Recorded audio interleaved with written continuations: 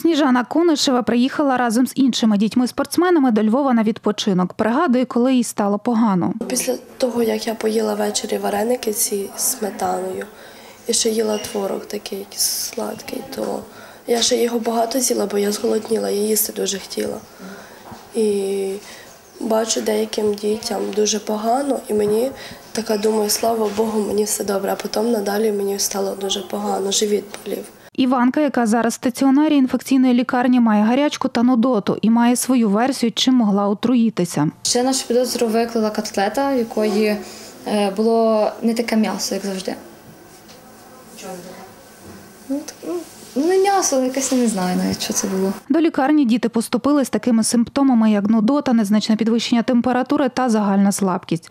Зараз дітям уже краще, і деяких з них можуть виписати з лікарні вже сьогодні. На момент огляду вранці стан багатьох дітей значно покращився. Вони вже перебувають, деякі з них перебувають навіть в задовільному стані.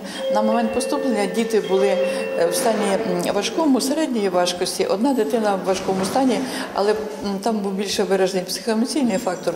Е, Була госпіталізована в реанімаційне відділення. Зараз вона вже переведена до нас. Це є гостра кишкова інфекція. Попередніх навіть результатів ми ще не маємо, тому що це трапилось вночі. Вони вночі почали поступати. Чи це сальмонельоз, я такого не можу зараз сказати.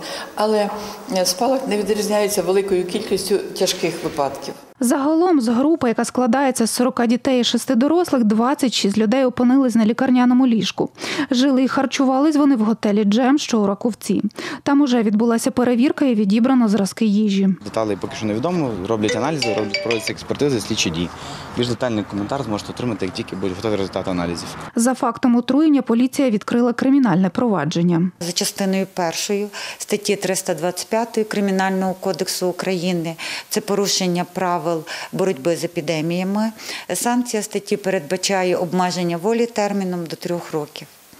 Е, Призначено низку експертиз. Е, Правоохоронці встановлюють причину масового отруєння дітей.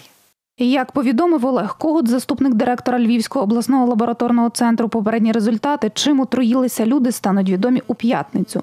А остаточну причину лабораторно підтвердять наступного тижня.